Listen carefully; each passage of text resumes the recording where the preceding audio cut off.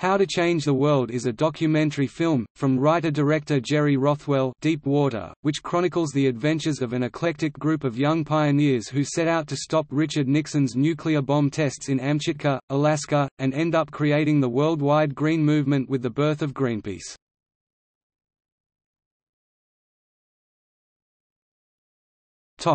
Synopsis In 1971 a small group of activists set sail from Vancouver, Canada in an old fishing boat.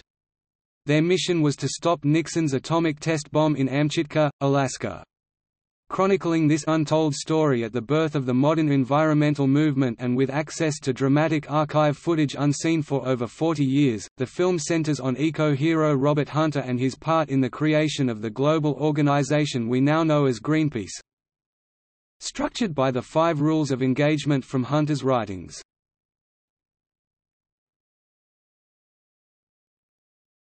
Topic: Cast. Barry Pepper as narrator. Bob Hunter as main character. Bill Darnell.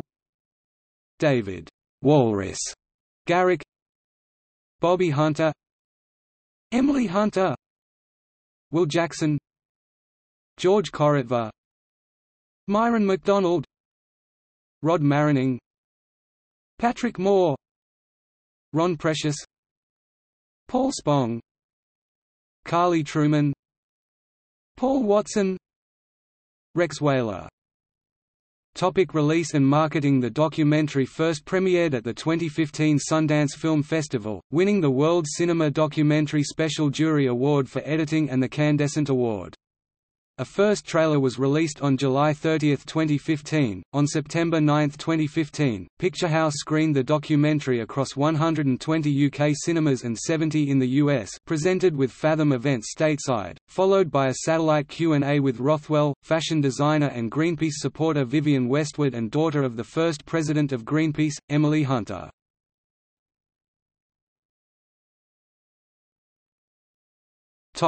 Reception The film received positive reviews. The review aggregator website Rotten Tomatoes reported an 86% approval rating, with a rating average of 8 tenths. Dennis Harvey praised the film in Variety noting, "...the gold mine of 16 mm color footage, whose propagandic value participants were quite cognizant of at the time, is in mint condition, showing the excitement and fun of the movement in its earliest days."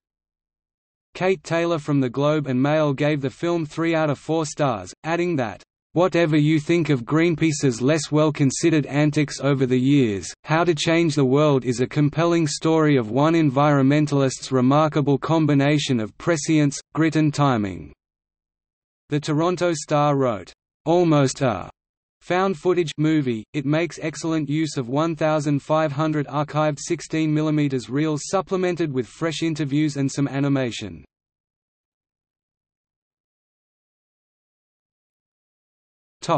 Accolades. The film has received accolades